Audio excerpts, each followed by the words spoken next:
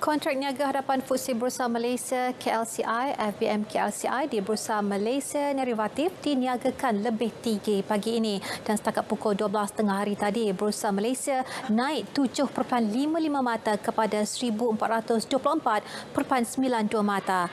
Tiga kaunter saham aktif antaranya DNEX naik 4.5 sen kepada 47 sen, Vinvest naik 1 sen kepada 19 sen dan Klasita menurun 1.5 sen sen kepada 14.5 sen.